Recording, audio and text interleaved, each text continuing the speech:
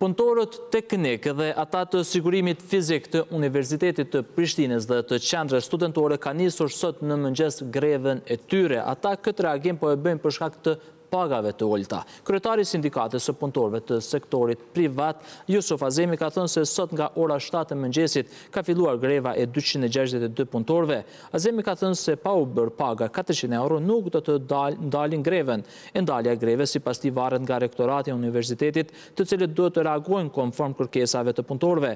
Azemi njoftoi se iu është ofruar një rritje prej pesëmbëdhjetë për qind që i bie të marrin pagën treqind e njëzet euro, por që nuk pranohet asesi nga punëtorët e sigurimit.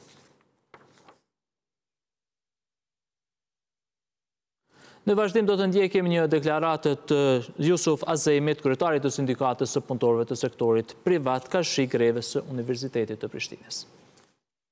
Deri në këtë moment nuk kemi ndonjë dialog të sinqertë. Sot kemi hy në ditën e dytë, do të protestojmë, do të bëjmë grevë edhe nesër dhe pasnesër do të ndryshojmë çështjen e grevës nëse nuk ka diçka që lëviz. Neve na është ofruar një shumë prej pesëmbëdhjetë për qind të rritjes të pagave që është për neve shumë qesharake, i bie që dikund treqind e njëzet euro dhe në fakt Po themi është nënçmim për neve sepse ne kemi kërkuar që paga jonë të jetë e barabartë me pagën e punëtorëve në sektorin publik që e kryejnë të njëjtën çështje. Ne jemi shumë komod, ne kemi hy në bazë ligjore, ne asesi nuk do të ndalemi pa u përmbushë kërkesa jonë minimale që ajo e nënkupton që të jetë rreth katërqind euro pagë neto.